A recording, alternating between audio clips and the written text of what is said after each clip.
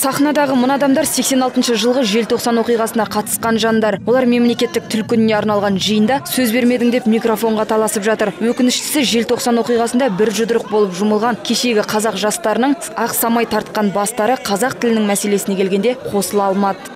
Гүлбаһрам жүніс деген талай рет қарым қазақтың құрылтайында жиналысында құртып жүрген провокатор.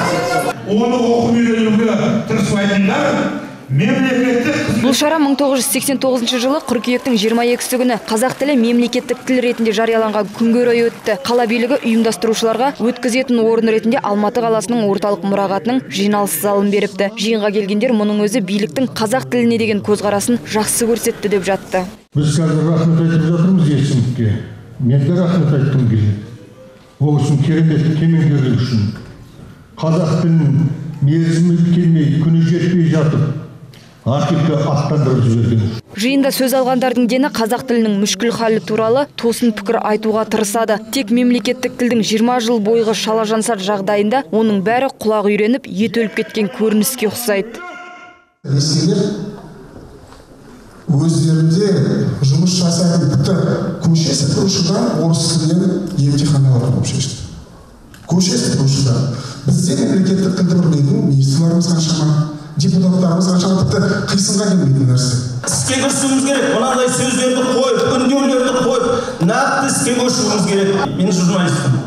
Мен өзімнің журналымда бұдан былай тек ұлтты рухты өсіретін және тіл мәселесі бойынша күресетін айдарлағанша сол бойынша қолымнан келгенше күресемін.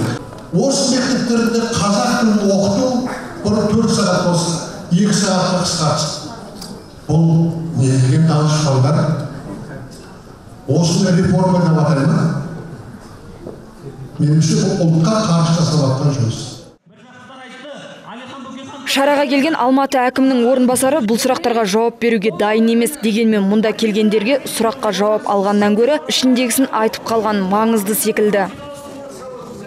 Дұрыс емес.